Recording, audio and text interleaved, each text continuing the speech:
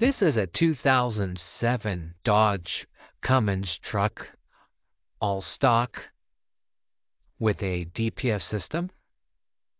As you can see, this is the mileage from the internet stating what this truck gets as far as fuel economy.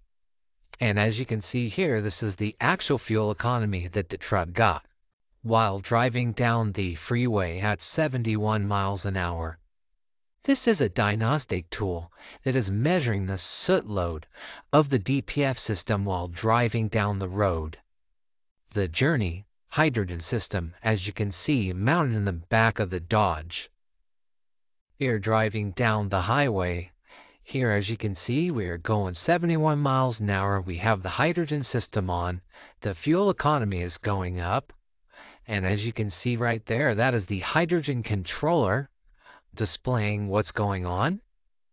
And we're still driving down the highway, going the same speed, like I said.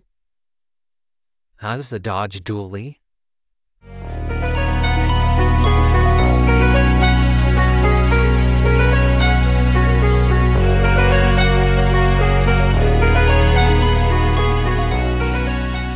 As you can see, the mileage has gone up to 26 miles per gallon. That is a huge increase.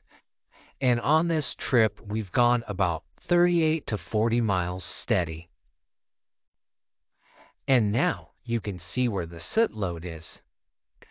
The soot load is 0.01. This is like brand new out of the box. So with all that less DPF pressure, this is another sign of why the fuel economy is so high.